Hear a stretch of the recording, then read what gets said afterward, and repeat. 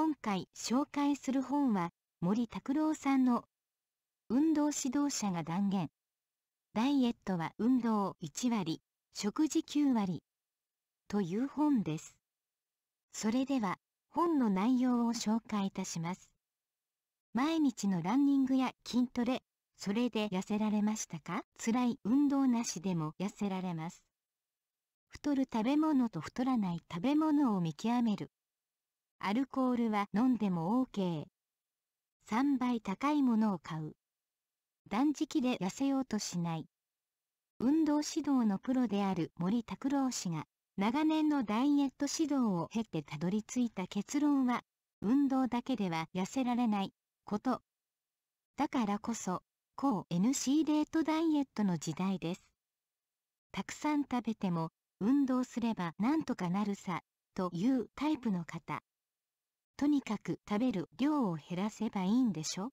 というタイプの方。短期間で結果が出ないとすぐに諦めてしまうタイプの方。これらの方々は本書を読めば結果がついてきます。ダイエット用の運動は単なるストレスのもとです。運動すればするほど食欲は増進します。筋肉を増やしても基礎代謝は大して上がらないのです。アスリートでさえ運動では痩せられません。食べたいだけ食べていては病気と老化一直線で有酸素運動だけでは無理です。痩せられない人の一番の問題はメンタルです。フィットネスクラブではかえって太るかも。逆立ちで長生きしよう。などなど。味覚と食生活を正常な状態にリセットする基本レシピ付きの一冊です。では、ここで実際にこの本を読まれた方の感想をご紹介します。お正月に激太りしたのが落ちず、ちょうどダイエットのためにジムに通い始めようとしていたところにこの本を読みました。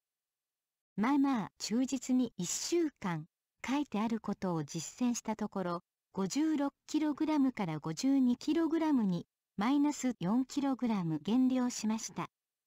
食事が体を作るって分かってはいたものの我慢しなきゃって思うとできないもの。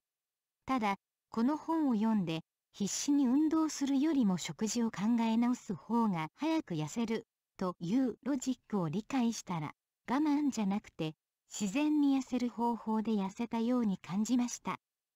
リバウンドしないようにしたいです。以上、読者の方の感想をご紹介いたしました。